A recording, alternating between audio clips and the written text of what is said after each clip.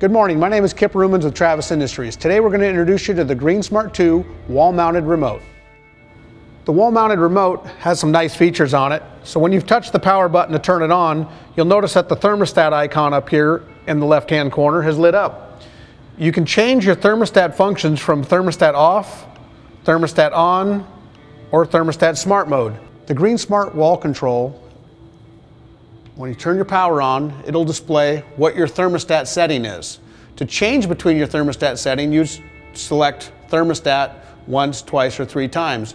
Right now it's in thermostat off mode, which means I have full manual control of my GreenSmart remote. So I can press the bottom mode button so I can toggle over to fan and I can move the fan icon up and down. I can go to lights, I can go to the back burner, and I can go to the main burner as well and toggle up and down. If I change my thermostat remote to thermostat on, which right now it's set at 41 degrees, I'm going to bring that temperature up. When I bring that temperature up above my set temperature, my, my stove will turn on. I can also still toggle between my main burner, my fan, my lights, and my back burner. The next choice for thermostat is smart mode, the most popular way to run your unit. And the reason why I say it's the most popular is it gives us the most ability for comfort control in the room. Smart mode allows the unit to sense the difference of temperature between the remote and the setting on the room. So here we're four degrees difference between what we want the temperature to be. I'm gonna make it four or five degrees. The different, we want it 80 and it's 75 in the, in the room right now. So the unit's gonna come on on high. As it approaches the 80 degree temperature, the flames will diminish and it'll slow down. This is like cruise control for your gas product. So the flames are going to be on high when it's cold in the room. As it warms up in the room, the flames will diminish and drop down to a lower setting using less gas. The warmer it gets in the room, the less gas is used. The colder it gets in the room, the more gas is used. So it'll just fluctuate between a high and low setting based on the difference, difference in temperature in the room. The mode button on the wall mount remote allows you to adjust your either your flames, your fan, your lights, or your rear burner to the on and off positions or up and down. So when I'm in the main flame icon lit up, I can actually turn that flame all the way up to a high setting. I can go to the fan and then I can turn the fan all the way up on high. Touch the mode again and I can go to the lights and I can actually adjust the intensity of the lights, which has six different adjustable settings, same as the burner, same as the fan. On the back icon, this icon here is for the rear burner. I can actually turn the back burner off or on. So I can adjust for climate control. Let's go through the mode buttons one more time.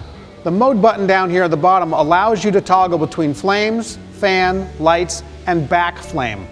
So when you press that button, it'll move the icon over so it'll display fan. If I press it again, it'll display the lights. Now I can toggle up or I can toggle down on the lights. If I press it again, it'll go to my back burner on or off.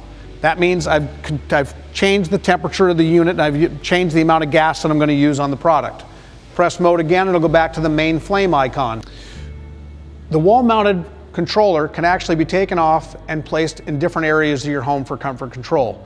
It also allows you to access where the stickers are right located right on the top of the remote and the stickers show you each one of the mode buttons, shows you the icons next to them, so it explains what we've been talking about in the video. The wall-mounted remote allows us to adjust between intermittent pilot or continuous pilot operation. The way you do that on the, on the remote is the screen is off, the power is off to the unit, and I press the mode button. It displays intermittent pilot. Intermittent pilot is great for 80% of the year. When it gets real cold out in December and January, and some colder climates, it might be longer than that, you'll need to go to continuous pilot operation. To do that, you press the mode button, toggle up, and you're now in continuous pilot.